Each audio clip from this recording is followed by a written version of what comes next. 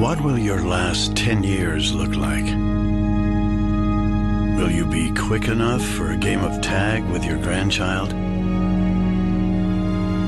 Strong enough to embrace every moment?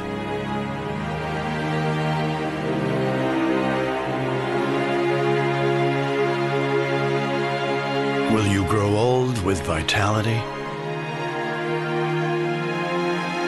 Or get old with disease?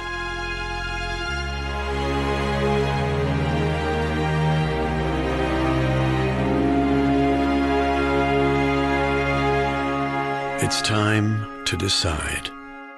The average Canadian will spend their last 10 years in sickness.